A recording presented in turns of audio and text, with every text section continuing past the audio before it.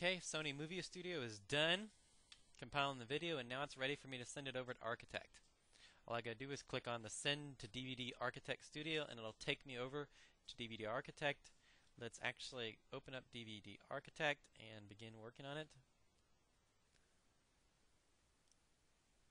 Okay, we're in DVD Architect, the opening menu, and I'm going to actually start off by doing a new menu. Here we have a choice of whether we want to do a menu based or we want to do a single movie. Or we, we can also do pictures and music. For this one, I'm going to choose a single movie. Okay, and I'm going to make sure I grab the DVD that I've been working on. Let's check. I might have put it in one. Okay. The video is Lifestyle DVD 1. Okay, it's a pretty large movie, so it might take a little while to load up. Okay, here's the movie. It loaded up the full movie. Top, there's no menu. But if we do preview, you'll see it'll actually start showing us the movie. We have our little remote control over here. But we're playing the movie.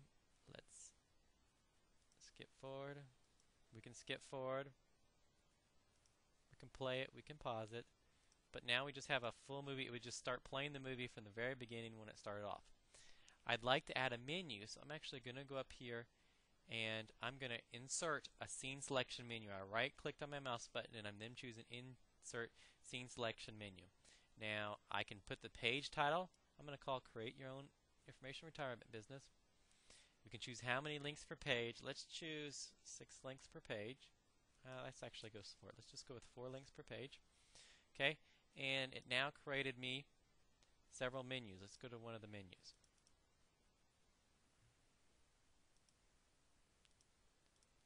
Okay, it's actually still compiling it since it's a large video. But here's the menu. Here's one of my menu pages. You can see that it broke it up into three separate videos. Um, four separate videos. Let's go to another menu page here.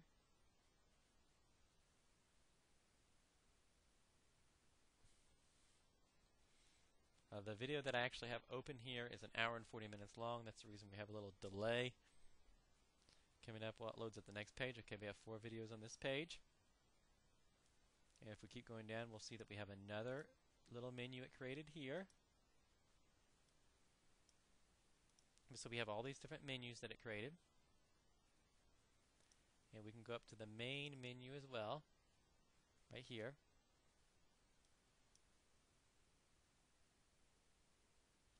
Okay, so here's the main menu. And then we have the main movie as well. But here's the main menu. Now I don't like having this blue background, so I can go in and I can change the backgrounds. Down here at the bottom we have our different backgrounds that are already set. I can grab any of these backgrounds to, to put it up there. And just load it up there.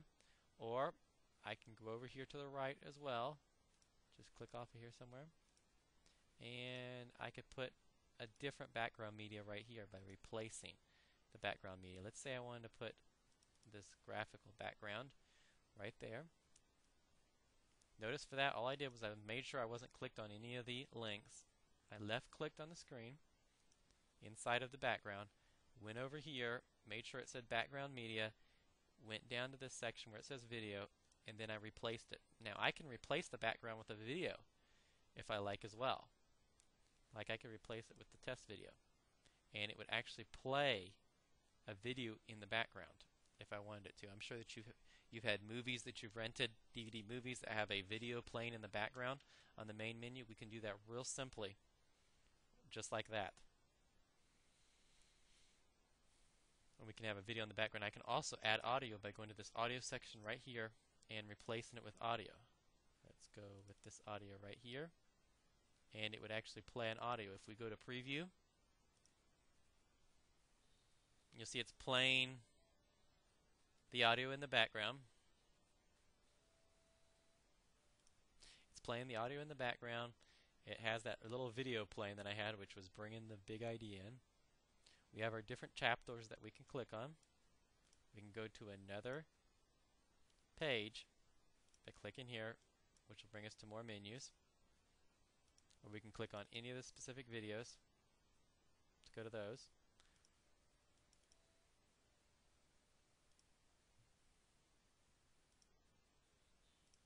Okay, that's enough of listening to me. Let's close that off. But we can go through and we can change each of our menus in the same way. So I can change this menu. I can go down here and I can change this menu out. And let's replace it. Let's just go with a background graphic. Oops, that's not what I wanted. That's a cover. Background graphic.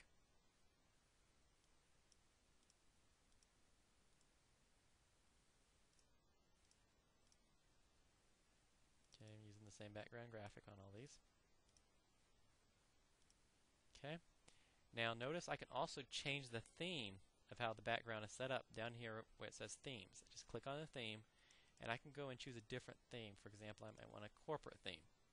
And notice now, instead of displaying it as images, it displays it as single links. That I could go in and I could modify these links if I wanted to. I could go in and edit the text. I just right clicked on the text and I can choose edit text and I can actually edit the text here. Okay. If I want to, I can go in, edit the text.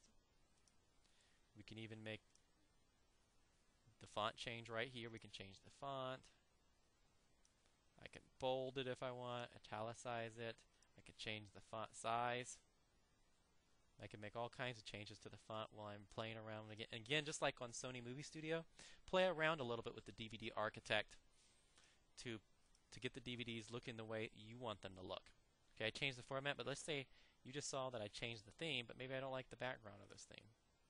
Well, let's go over and let's just grab a different background. Okay, I kept the same thing, but I changed the background. Or I could go over here and let's click off of it, make sure we're on the background. I can replace the background again with my own background and have that theme.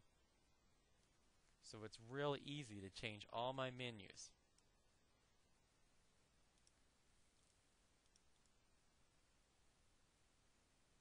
And then I can also choose to start my DVD wherever I want.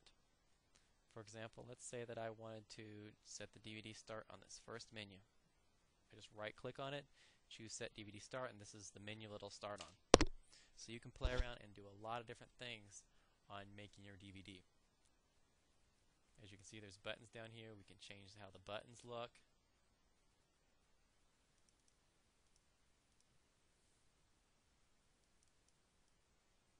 I can add a button up here if I want. I don't really want this button, so let's delete it out. But basically, you can play whatever you want to. You can edit it around. You can see over here I can change what it says. I can follow the links. I can delete a link or do whatever else I want to do with it. Nice and simply, when you get finished with Architect, go up to Make DVD. I'm going to choose to burn it to a DVD. It's going to save it to a temporary folder. Make sure you have a folder that has a lot of space on it. Next. It's right here. If there's any problems with your DVD, it's going to tell you in this section.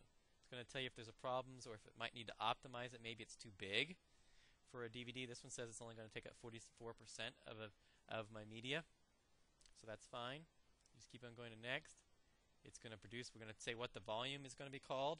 Let's call it um, Okay. You can change the volume, the speed of your DVDs that you're going to write to. And then you just simply click finish and it's going to create your whole DVD on the DVD media that you have in your DVD burner on your computer. Nice and simple. I'm going to cancel it here. But so it's real easy to use DVD Architect. It's real easy to produce some nice DVDs using this software.